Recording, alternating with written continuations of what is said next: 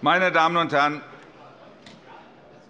liebe Kolleginnen und Kollegen, verehrte Gäste auf der Tribüne!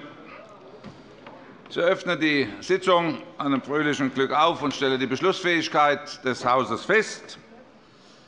Tagesordnung sind noch offen die Punkte 15, 16, 21 bis 30, 32 bis 42, 44 bis 54, 56, 58, 60, 66 bis 70, 72, 73 und 76. Sie sehen, wir haben noch einiges zu tun.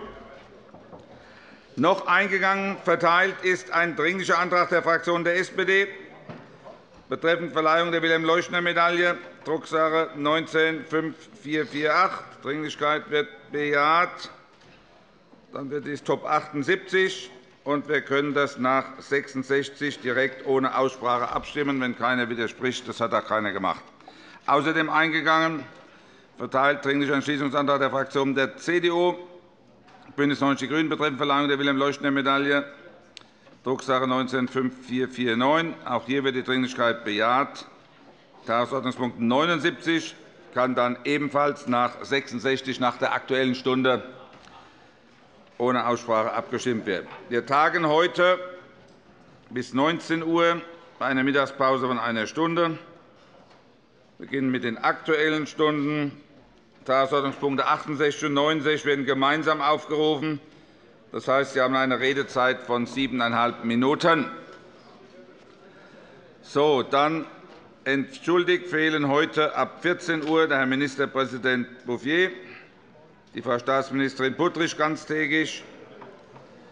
Meine Damen und Herren, ich bitte etwas um Aufmerksamkeit, sonst verstehen wir, sonst verstehen wir selbst nicht, was wir wollen.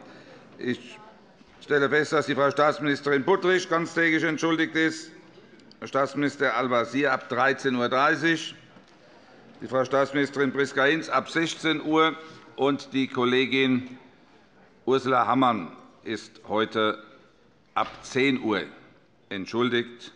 Das halten wir auch fest. Gibt es sonst noch etwas mit Entschuldigungen? Kollege Schaus ist noch entschuldigt. Kollege Ernst Ewald ist wieder da.